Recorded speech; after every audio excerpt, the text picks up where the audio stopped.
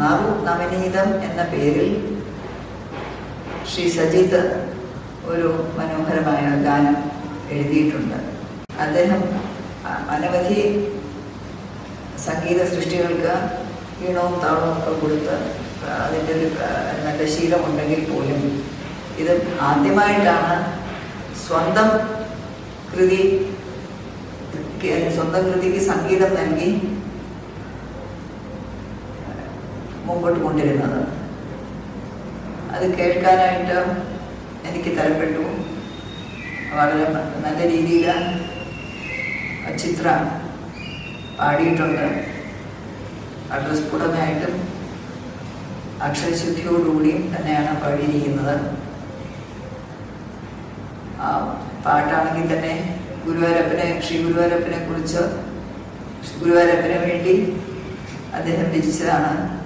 താനെ മനസ്സിൽ ഉദിച്ചു വന്ന വാക്കുകളെല്ലാം കൂടെ കോർത്തിണക്കി ഭക്തി എന്ന നൂലിൽ കോർത്ത് ഒരു മനോഹരമായ പൂമാലയായിട്ട് ഭഗവാന്റെ തൃപ്പദത്തിൽ അദ്ദേഹം അത് സമർപ്പിക്കുകയാണ്.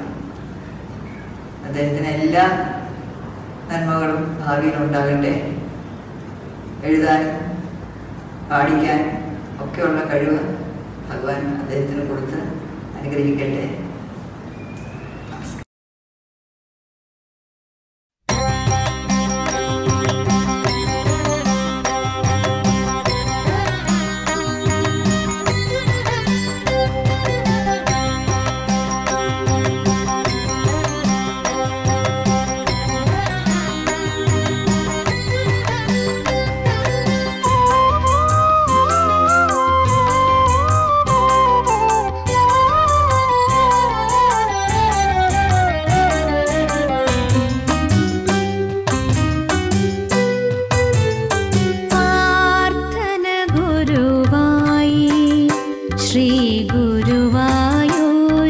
കണ്ണൻ പ്രാർത്ഥന സാരഥിയായി ശ്രീ ഗുരുവായൂരിലെ കണ്ണൻ എന്റെ മനസ്സിലെങ്ങും കളിയാടുന്ന കണ്ണൻ മനസ്സിലെ